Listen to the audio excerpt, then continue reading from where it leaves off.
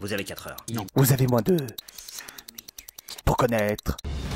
Euh, les moutons. Mais non, Spiro le dragon Je crois qu'on va faire un barbecue Et un mouton grillé pour la 3. Spyro le dragon est apparu pour la première fois dans le premier opus de la série Spyro's Dragon le 10 septembre 1998. Et oui, c'est cette année que nous avons fêté le 20e anniversaire du dragon le plus cool du jeu vidéo. Et c'est normal de le présenter.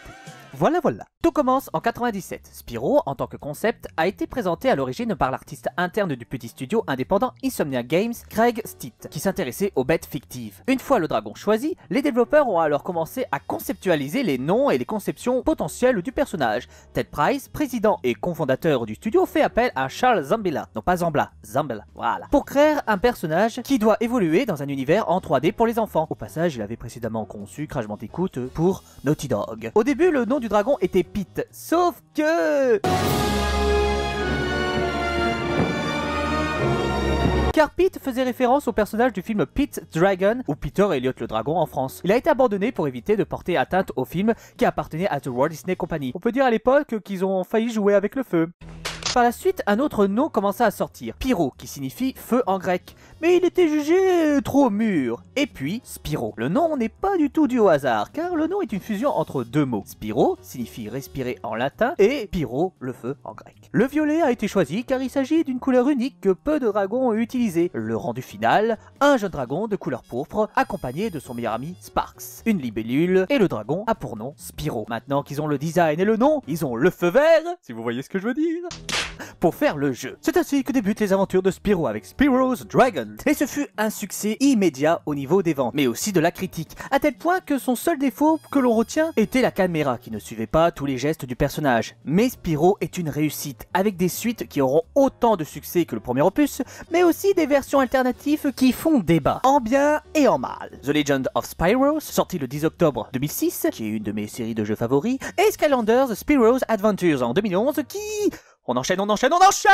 En ce qui concerne sa personnalité, dans les trois premiers jeux, il est mignon, espiègle, avec un fort caractère. Il n'a pas peur de relever les défis avec un léger côté bagarreur, qui fonce sans aucune hésitation dans le feu de l'action et l'aventure. Et pour preuve, la jaquette du jeu, avec ce petit regard qui te dit Et à partir du deuxième opus, il devient plus mature et décontracté. Dans The Legend of Spyro, qui se déroule dans une continuité différente, hein, Spyro a été élevé par des libellules aux côtés de Sparks après la perte de son œuf lors d'une tentative de destruction de sa couvée. On décrit ici Spyro comme étant disposé à aider ses amis et les étrangers à résoudre leurs problèmes, quels qu'ils soient, sans aucun désir de récompense. Spyro est aventureux, curieux de son passé et désireux de façonner son avenir, dans lequel il est censé devenir un chef de clan. Et dans la franchise Skylanders?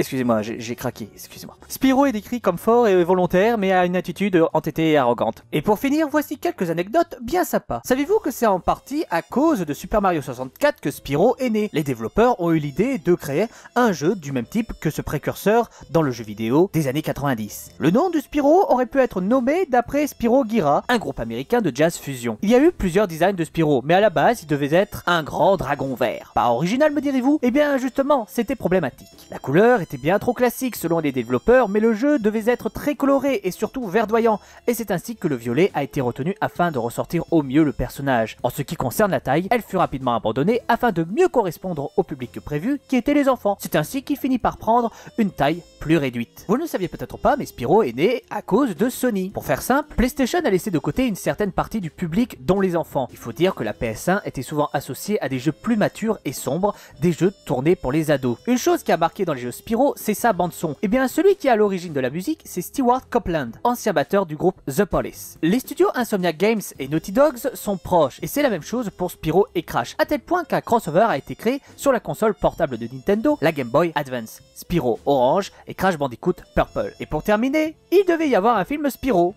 Non, non, non, non, non, non, je me fous pas de votre gueule, hein, euh, pour les fans de Spyro, ce n'est pas une blague. La légende de Spyro, un film d'animation en 3D destiné à être la première d'une franchise basée sur la série The Legend of Spyro. L'un des auteurs du film, Daniel Altieri, lui-même a confirmé que le film avait été annulé en raison d'une décision prise par Activision, celle de développer Skylanders. Est-ce qu'on peut dire que pour le cinéma, euh, Spyro n'est pas sous le feu des projecteurs? Quoi qu'il en soit, le retour du Petit Dragon en 2018 dans un remake des plus sublimes et réussis sur PS4 a fait réagir plus d'une personne. Comme quoi, Spyro le Dragon reste pour beaucoup un grand personnage de la culture populaire en tant que mascotte de la console PlayStation, aux côtés de Crash Bandicoot. Mais surtout, un héros qui a marqué une génération et je l'espère de tout cœur qu'il marquera la nouvelle génération. J'y compte bien Et toi, tu en penses quoi de Spyro? Est-ce que selon toi, le remake va lui permettre d'avoir une nouvelle jeunesse? Et quels sont tes plus beaux souvenirs de Spyro? Dis-nous ce que tu en penses dans les commentaires. Si vous voulez nous suivre, abonnez-vous. Et n'oubliez pas la cloche au chocolat dans la description, nos réseaux sociaux. Et partage la vidéo en masse, en masse, en masse, en masse D'ici là, portez-vous bien, c'est le plus important. Et le club Génération Geek vous dit à bientôt pour la prochaine vidéo. Bye bye.